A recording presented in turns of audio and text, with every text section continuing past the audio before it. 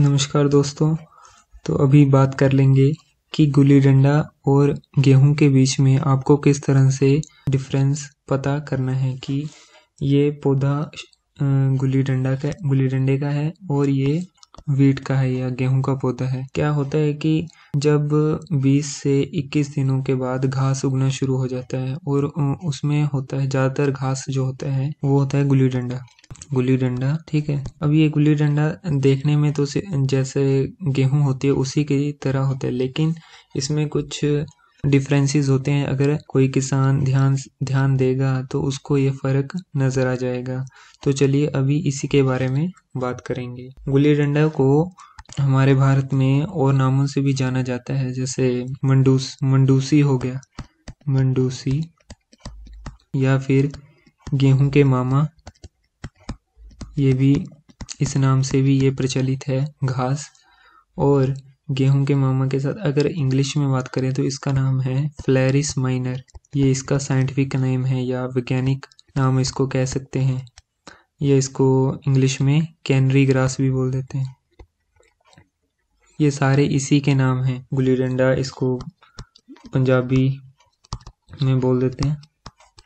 ठीक है दोस्तों तो अभी हमने इन दोनों के बीच में अगर डिफरेंस के बारे में, इनके फ़र्क के बारे में देखना है तो हमें ध्यान देना होगा। क्योंकि शुरू के जो, जैसे शुरुआती दौर में इन दोनों के, इन दोनों में फ़र्क करना थोड़ा डिफ़िकल्ट है, ठीक है? तो हमें थोड़ा ध्यान से देखना होगा। पहले ही जो आपको डिफरेंस देखना है, ठीक है? तो वो है इसके जो बेसल नोड है ना, आप यहाँ पे ध्यान देना है इसको। ये थोड़ी आपको पिंकिश या रेडिश कलर की दिखाई देगी। और जो गेहूँ है ये यहाँ पे सामने ये वाला पौधा ये गेहूँ का है। आप इस पे ध्यान दो। इसका जो बेसल नोड है या बेसल जो बिल्कुल बेस के ऊपर जो नोड है ना, वो वाइट कलर की है। ये वाइट है या सफ़ेद है। इसकी पिंकिश होती है और इसमें जब आप इसको उखाड़ के भी देखेंगे तो इसके जो रूट टिप्स है ना, जो रूट है उसकी बिल्कुल टिप के ऊपर आपको रेडिश टिंज दिखाई देगी। मतलब रेडिश कलर का दिखाई देगा एक पॉइंट से, ठीक है? तो ये आपको अगर बाहर से नहीं पता लग रहा है, सामने से देखने से तो आप इसको उखाड़ के देखिए पौधे को तो आपको साफ़ ही पता लग जाएगा कि कौन सा गुल्ली डंडे का पौधा है और कौन सा गेहूँ का पौधा है, ठीक है? तो और अभी हम और इमेजेस या फ़ोटोज़ देखेंगे, जिससे हमें और क्लियर हो जाएगा कि कौन सा पौधा क्या है, ठीक है? तो चलिए दोस्तों, अगली इमेजेस को देखते हैं। यहाँ पे आप देखिए, ये जो पौधा है इसमें आपको यहाँ पे ये वाला पोर्शन दिखाई दे रहा है। इसको बोलते हैं लिग्यूल ठीक है? और ये जो लिग्यूल है, इसकी जो लेंथ है मतलब इसकी जो लेंथ कह लो आपकी लंबाई, वो गेहूँ के पौधे से ज़्यादा होती है। गेहूँ के पौधे में भी ऐसा होता है लिग्यूल लेकिन वो कम होता है, छोटा होता है। ठीक है? अभी ये जो पौधा है, ये हमारा किसका है? ये देखिए आपको एट इंच सी दिखाई दे रही है रेडिश तो ये किसका पौधा है? गुली डंडे का या फ्लैरिस माइनर ठीक है नेक्स्ट फ़ोटो देखते हैं, आपको और क्लियर हो जाएगा इससे, ठीक है? ये देखिए दोस्तों, ये ये भी एक लिग्यूल है, जब आप पत्ते को पत्ते को हटाएँगे ना हाइट करेंगे तो आपको ये दिखाई देगा। इसी को लिग्यूल बोलते हैं, जो भी हमने पिछली फ़ोटो में भी देखा, ठीक है? तो अभी नेक्स्ट चलते हैं और ये भी उसी की फ़ोटो है, ये लिग्यूल आ गया। ठीक है, ये अभी तक किसकी फ़ोटोज़ चल रही हैं? ये है गुल्ली डंडे की। आपको जब गेहूँ आएगा तो आपको साफ़ नज़र आए। ये भी एक गुल्ली डंडा है। ठीक है, ये येलो इस, इसलिए क्योंकि इस पर स्प्रे की हुई है। तीन चार दिन हो गए स्प्रे करते हुए स्प्रे करने के बाद ये अब येलो हो गया है। ठीक है?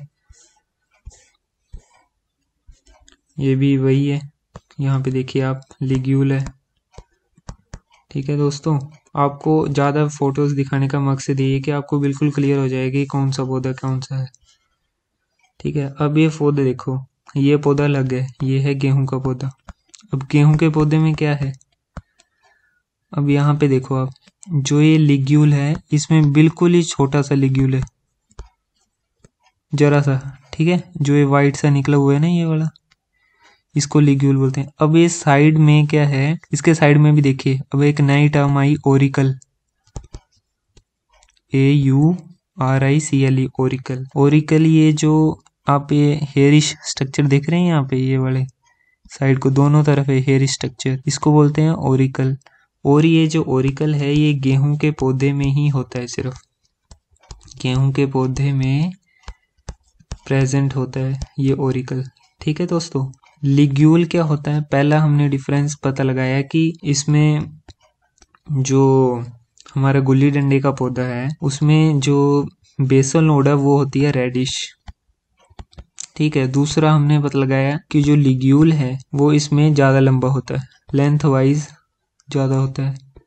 ठीक है, और थर्ड हमने ओरिकल देखा, जो ओरिकल है, वो सिर्फ़ गेहूँ के पौधे में होता है, गुल्ली डंडे के पौधे में ये नहीं होता। ठीक है? ये में, तीन मेजर डिफरेंसेस है दोस्तों। ये आपको अगर ये क्लियर हो गए तो अपने यहाँ भी आपको पता लग जाएगा कि कौन सा फ्लैरिस माइनर है, कौन सा गेहूँ का पौधा है, ठीक है? और ये इनिशियल स्टेजेस में आपको पता लगाने की तरकीब है। इनिशियल मतलब कि जब 20-22 दिन होते हैं, उस टाइम पे इसको अगर आपने पता लगा लिया तो आपको काफ़ी आसानी होगी, ठीक है? अब ये देखिए गेहूँ का पौधा दिखाई दे रहा है, ठीक है? अब इस, इतने पोर्शन को बताऊँ, क्या बोलते हैं आपको साइंटिफिक लैंग्वेज में? इसको बोलते हैं लीफ ब्लेड दोस्तों, आप थोड़ा सा आप इंफॉर्मेशन इकट्ठी कर लीजिए तो आपको और आसानगी होगी, ठीक है? अब अब जो ये पोर्शन है, इसको बोलेंगे लीफ शीथ ठीक है? अब इन दोनों के बीच में जो पोर्शन बचा ना, ये तो आ गया हमारे ये जो साइड साइड से, दोनों तरफ़ से, ये आ गया ओरिकल जिसके साथ में मतलब हेयर भी स्ट्रक्चर भी साथ में बाहर को हेयर निकले हुए हैं या बाल निकले हुए हैं, ठीक है? अब जो ये वाइट सा है, ये हमारा क्या है? लिग्यूल ठीक है? और ये लिग्यूल इसकी लेंथ कम होती है in comparison to gulli danda. Gulli danda में इसकी ज़्यादा लेंथ होती है, ठीक है दोस्तों? तो ये है डिफरेंस आपको अभी तक काफ़ी क्लियर हो जाए। अब ये देखिए, ये फ़ोटो बहुत अच्छी है, ये गेहूँ का पौधा है और इसमें ये पास से फ़ोटो है तो इसमें काफ़ी लिग्यूल है, साफ़ नज़र आ रहा है। ठीक है? और ये, यहाँ पे ये लीफ ब्लेड हो गया। ठीक है? ये लीफ ब्लेड और यहाँ पे ये लिग्यूल ये और ये देखिए साइड को। ये ओरिकल आ गया। ठीक है दोस्तों? और यहाँ पे ये भी आप देख लीजिए। अब तो काफ़ी क्लियर आपको हो गया होगा, ठीक है? अब देखिए, अब ये इसकी जड़ें धो दी हैं। जो ये गुली डंडे का पौधा है, ये पूरा ना, इसको हमने साफ़ कर दिया इसकी जड़ों को। तो आपको रेड स्टिंज ये दिखाई दे रही है। ये गेहूँ के पौधे में नहीं होती? ये सिर्फ़ इसी के पौधे मतलब जो गुली डंडा या मंडूसी है, इसी के पौधे में है ये।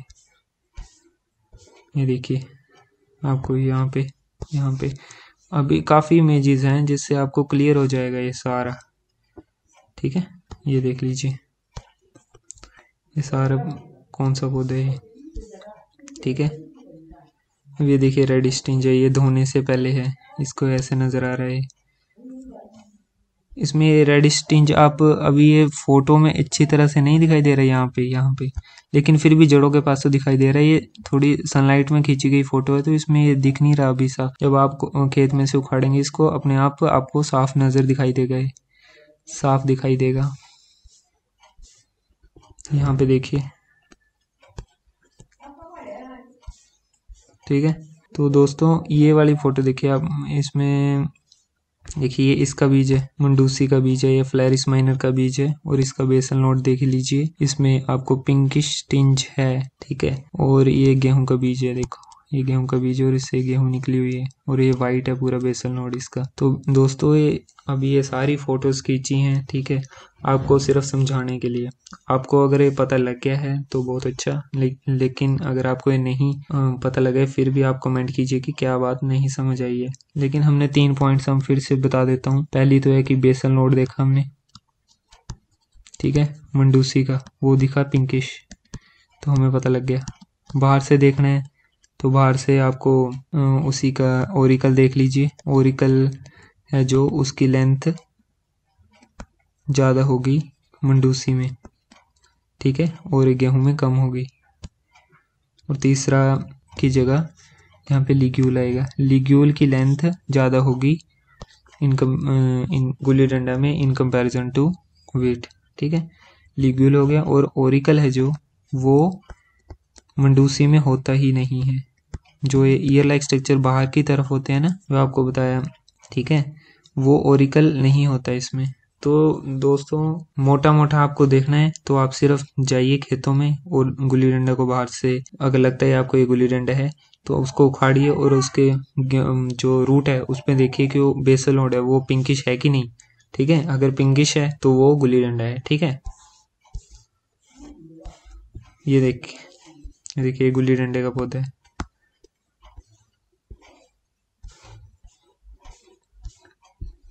यहाँ पे ये गुल्ली डंडे का पौधा है ये, है ना? इसकी ये रेड स्टिंज आपको अगर दिखाई दे रही है स्क्रीन के ऊपर।